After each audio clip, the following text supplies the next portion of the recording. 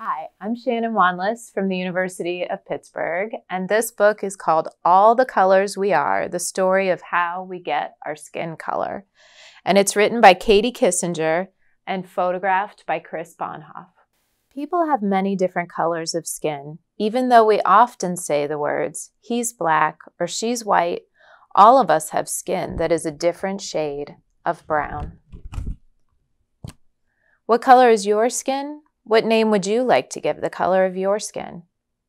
How do you think we get our own special color of skin? Can you make a guess? We get our skin color in three different ways from our parents and from our relatives who lived long ago, called ancestors.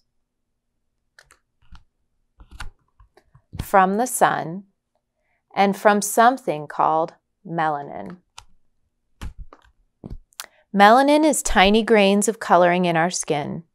We can't see the tiny melanin grains, but we all have melanin in our skin. If you have dark skin, the melanin in your body is very active. If you have light skin, the melanin in your body is not very busy. Freckles are spots on the skin that have a lot of melanin. No matter what color we are, our skin gets darker in the sun. The more we're in the sun, the darker our skin will get. Melanin's most important job is to protect our skin from sunburn. How does that happen? When we go outside, the sunshine and the air cause the melanin in our skin to get busy to keep our skin from burning. If we go outside into the sun a little bit at a time, we will build enough melanin to protect our skin. If your ancestors from a long time ago lived in a place where there was a lot of sunshine and heat, they probably had dark skin. If they lived in a place with less sun and heat, they probably had light skin. When both parents have light skin, they usually have children with light skin. When both parents have dark skin, they usually have children with dark skin.